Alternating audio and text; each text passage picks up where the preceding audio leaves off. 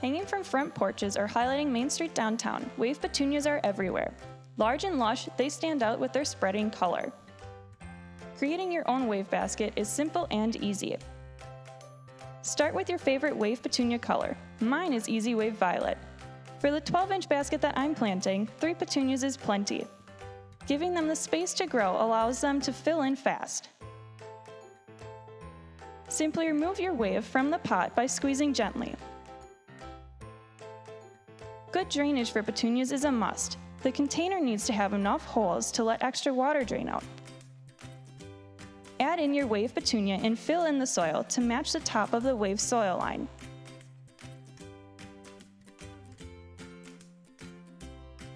Some potting mixes include slow release fertilizer. If yours does not, you can always add in some to help keep your plants happy and blooming all season long. When planting in a container, the plants rely on you to keep them hydrated, so monitor them daily. During the summer heat, they may need to be watered at least once a day. Most importantly, wave petunias need sun. Select a location for your basket that receives afternoon sun or at least 6 hours of daylight. They need this to perform and flower their best. Planting a wave petunia is a simple and easy way to add color to your porch or patio. With a little prep and a lot of sun, you can wow them with wave. Visit your local garden center and pick your favorite color of wave petunias in the pretty pink pot today.